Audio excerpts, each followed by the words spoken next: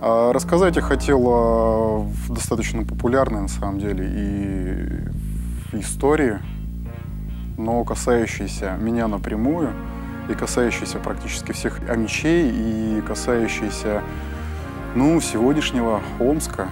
Э, мало кто знает, как, когда это точно все начиналось, какая, и какая дата была отправной точкой. 21 июля 1941 года был принят закон Советом народных комиссаров э, СССР о переводе сотрудников на другие работы. Этот закон давал фактическое право переводить на, э, в другие регионы вне зависимости от пожелания рабочих.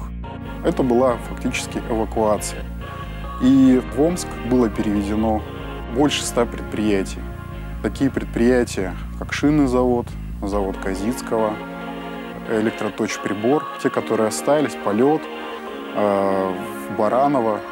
И как это связано со мной? На сегодняшний день я живу в первом шинном поселке, который был как раз построен сразу же после э, Великой Отечественной войны в э, конце 40-х годов. Моя бабушка проработала на шинном заводе всю жизнь. Мой дядя проработал большую часть жизни на заводе Казицкого. Учась в университете, педуниверситете, я еще успел застать э, тех людей, которые когда-то приехали с эвакуированными в эвакуацию сюда, в Омск.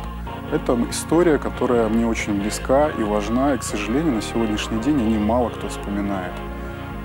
Так создавался город Омск. Спасибо. Минин Василий.